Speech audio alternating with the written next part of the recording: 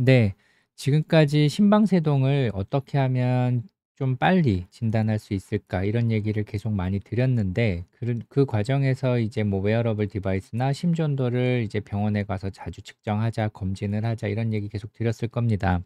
근데 이런 것들은 실제 이제 임상에서 저희가 쓰고 있는 방법들인데 뭐 머지않아 이제 실제 이제 심전도를 찍지 않고 이제 부정맥을 좀 조기에 발견할 수 있는 방법들이 없을까 이런 것들이 연구가 많이 되고 있고요. 오늘 말씀드리려는 것은 아주 먼 미래의 이야기는 아닙니다. 지금 현재 이제 상용화 직전에 이제 저희가 이제 연구하고 있는 것들 그리고 실제 외국에서도 이제 개발이 되고 있는 것들이고요. 이제 뭐 우리나라에서도 1, 2년 안에는 이제 실제 임상에서 활용할 수 있을 그런 정도의 기술이 있어서 좀 보여드리려고 합니다. 실제 환자분 한번 얘기, 예를 좀 들어볼게요. 43세 남자분, 비교적 젊은 남자분이시고 이제 증상이 있어서 심전도를 찍으셨습니다. 요 심전도는 이제 정상 심전도입니다. 이제 부정맥은 아니고요. 정상 심전도이고 그리고 이분은 비교적 이제 고혈압이라든지 당뇨라든지 이런 기저질환은 전혀 없습니다. 고혈압도 없고 당뇨도 없고 그리고 보통 이제 부정맥 심방세동이 있으면 우리가 이제 심비대라는 것이 생기죠. 심장이 좀 커지는 건데 심초음파를 했을 때 심장 크기도 38mm면은 비교적 크지 않고 심비대도 없습니다. 엑스레이를 찍었을 때 심장이 커져 있는 것도 보이지 않고요. 단순히 간헐적으로 두근거림이 좀 있는데 이게 좀 너무 불편하고 생활이 좋지 않아서 검사를 하셨던 겁니다. 그래서 이렇게 과거력도 없고 지병도 없다. 그래서 이렇게 심전도를 찍었더니 정상이다. 라고 하면 보통 병원에서 건강하시니 이제 크게 걱정은 안 하셔도 될 것 같고 부정맥이 있을 때 이제 가까운 데서 심전도를 좀 찍어 보십시오. 이런 것들이 보통 일상적인 진료인데 이 환자분이 실제로 한 일주일 있다가 또 증상이 있어서 심전도를 찍었습니다. 그랬을 때 응급실에서 찍힌 심전도인데 요것은 앞에서 보는 거랑 달리 여, 이런 데를 보시면 좀 울퉁불퉁하고 매끄럽지 않은 것들이 보이고요. 여기 보면 이게 이제 심장이 하나하나 뛰는 건데 간격이 어떤가요? 일정하지가 않죠. 이 간격이 일정하지 않고 불규칙합니다. 이런 거를 우리가 이제 심방세동이라고 합니다. 그래서 보통 심방세동은 이제 60대 전후 보통 나이가 들면서 생기는 게 일반적인데 그 젊은 사람에서도 요즘에는 많이 발견이 됩니다. 그랬을 때 이 심방세동을 이제 우연히 이분은 응급실에 와서 찍었기 때문에 진단이 되었는데 만약에 이분이 응급실에 와서 찍질 않았다면 이분은 심방세동이 계속 진단이 안 되었을 거고요. 지, 지병도 없고 다른 위험 요인이 없기 때문에 부정맥이라고 의심은 되지만 진단이 안 되었을 가능성이 높습니다. 그래서 이런 분들에 있어서 진단을 할 수 있는 방법이 없을까 많은 연구들이 있었습니다. 그래서 이 그림을 잠깐 보시면 요게 이제 빨간색이 아까 보여드린 심방세동이 진단된 그 당시라고 보면 그 전에 뭐 일주일 이내에 이렇게 검정색으로 된 부분들이 이제 심전도를 찍은 시기라고 보시면 됩니다. 검정색은 이제 정상으로 나왔다는 거죠. 그래서 진단이 되기까지 일주일 이내에 찍은 심전도는 다 정상일 겁니다. 이 환자분이 증상이 없었기 때문에. 밑에 있는 걸 보면은 이분은 2주 이내에 심전도를 한 두 번 정도 찍으신 분인데 이렇게 부정맥이 생기기, 빨간 게 생기기 전에 두 번 정도 찍었을 때 역시 마찬가지로 다 정상 심전도만 보입니다. 그랬을 때 이 정상으로 나와 있는 심전도를 가지고 이제 이 부정맥의 발생이 얼마나 높은지를 예측을 해보고자 하는 것을 우리가 이제 요즘 많이 나오는 것으로 인공지능 이런 것들을 활용을 해서 예측을 해보는 겁니다. 그랬을 때 실제 예측력이 이제 90% 정도 나온다는 것이 최근에 이제 미국이라든지 유럽 쪽에서 나오고 있어서 우리나라에서도 저희가 이런 것들을 이제 개발을 하고 있고요. 저희뿐만이 아니라 이제 다른 이제 회사라든지 기업체에서도 많이 개발이 되고 있습니다. 그리고 저희도 요 소프트웨어를 가지고 이제 10개 병원에서 임상 연구를 하고 있고 그 결과를 조만간 보여드릴 수 있을 것 같고요. 그리고 이제 이것들의 예측력이 어느 정도 잘 나온다 그러면 보통은 우리가 이제 신의료 기술 이런 것들을 통해서 임상에서도 이제 활용할 수 있고 건강검진을 통해서도 이제 활용을 할 수가 있는 겁니다. 그리고 요거 하나 보여드릴 것은 얼마 전에 나온 논문인데요. 이것은 이제 Circulation이라고 하는 상당히 공신력 있는 미국 심장학회지 논문입니다. 여기서도 마찬가지로 정상 심전도를 가지고 심방세동 을 예측하는 이제 소프트웨어를 개발을 한 겁니다. 근데 여기서 한 걸음 더 나아가서 심방세동이 가장 위험한 이유는 합병증 중에서 이제 뇌졸중 발생인데 이 뇌졸중까지도 같이 예측을 했다라고 합니다. 보시는 것처럼 그래프가 조금 보기 어려워서 제가 좀 한글로 설명을 좀 드리겠습니다. 보시는 것처럼 세 개의 그래프로 이루어져 있는데 왼쪽 오른쪽 그래프는 이제 동일한 걸로 보시면 됩니다. 정확도를 나타내는 이제 수치인데 이제 일관성 있게 나타나고 있고요. 그래프 막대 그래프가 높으면 높을수록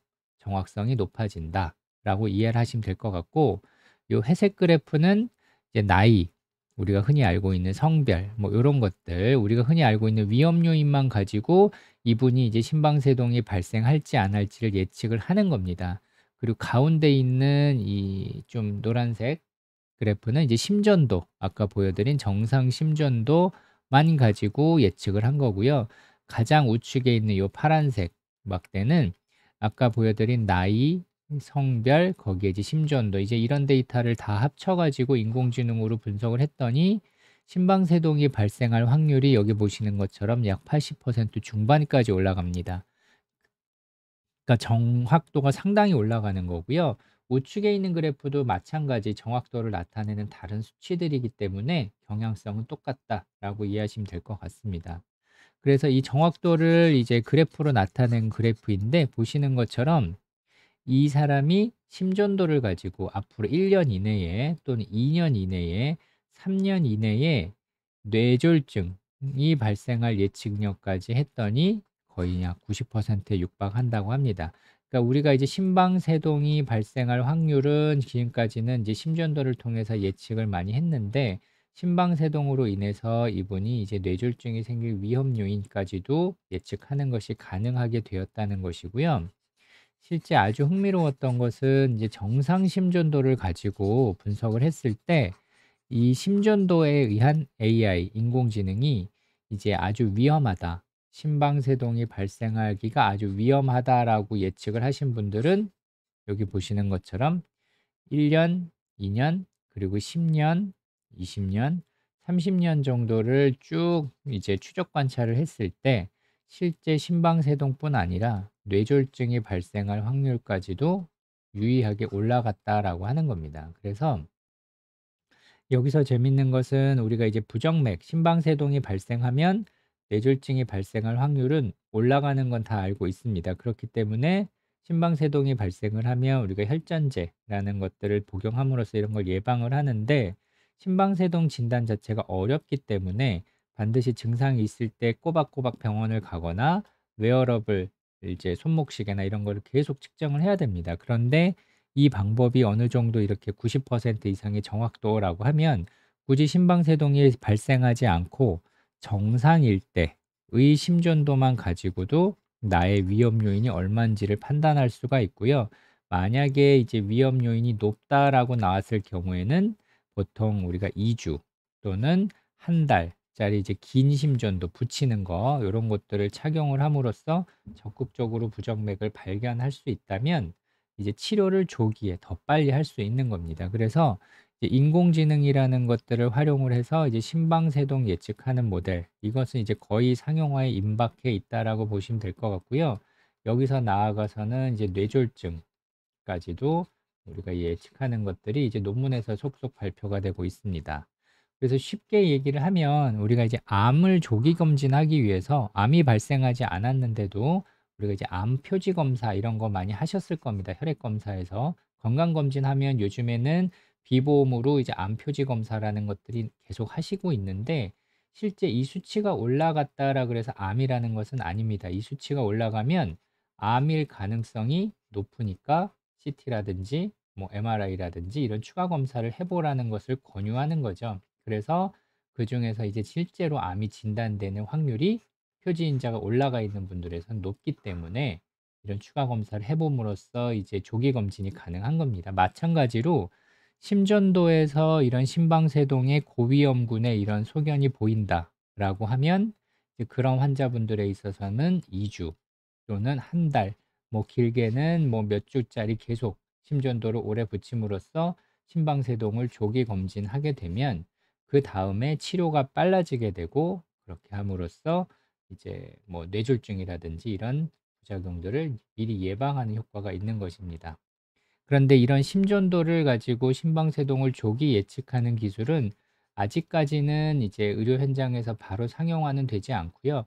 우리가 보통 이런 것들을 이제 증거들이 이제 논문이나 이런 것들을 통해서 이제 여러 가지 에비던스 증거들이 계속 쌓이면 이 신의료 기술로 이제 평가를 받을 수가 있습니다. 그런 것들이 보통 1-2년 안에 이제 보통 될 가능성이 높은 것으로 보여지고 있고요.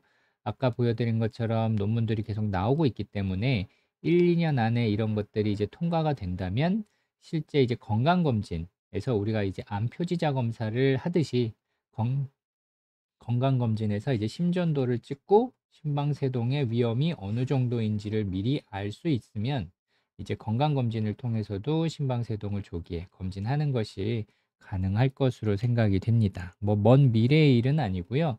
앞으로 한 1-2년 내에 이제 건강검진에서 이런 것들이 가능할 수 있을 것으로 생각이 되고 있습니다. 네, 감사합니다.